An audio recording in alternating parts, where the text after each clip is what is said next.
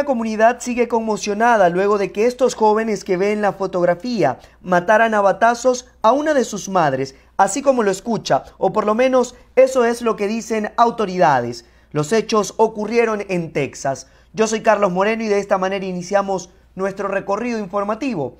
Los adolescentes fueron identificados como Matthew Dempsey y Daniel Saucedo, acusados de homicidio capital por presuntamente haber matado a batazos a la madre de uno de ellos para robarla. De acuerdo con los documentos legales del caso consultados por Mundo Hispánico, la señora Dempsey regresó a su casa en la noche del lunes después de una jornada laboral.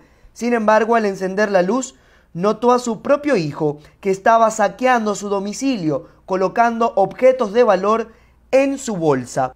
En un momento en el que se descuidó tras observar lo que sucedía, su hijo Matthew, junto con Saucedo, tomaron bates de béisbol y la golpearon varias veces en la cabeza. Los muchachos también llevaban una pistola, pero no la usaron, según indican las autoridades. Mary Helen Dempsey era analista financiera especializada en préstamos en un banco en San Antonio. Dempsey y Saucedo ya están en la cárcel del condado de Bexar, acusados de homicidio capital, un delito que de acuerdo con el Código Penal del estado de Texas se castiga con la pena de muerte a quienes sean hallados culpables. Los dos muchachos recibieron por separados el beneficio de salir bajo fianza, pero tendrían que pagar un millón de dólares para enfrentar su proceso en libertad.